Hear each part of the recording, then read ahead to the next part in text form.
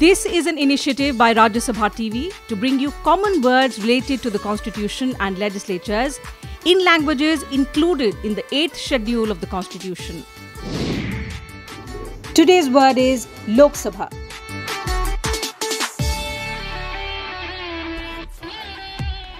Lok Lok Sabha को संस्कृत भाषा में भी लोकसभा कहते हैं लोकसभा Lok Sabha. लोकसभा को सिमिलर भी है, लोकोसभा बोलते हैं।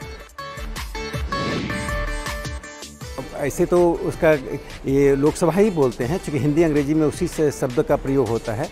लेकिन इसको लोअर हाउस भी कहा जाता है।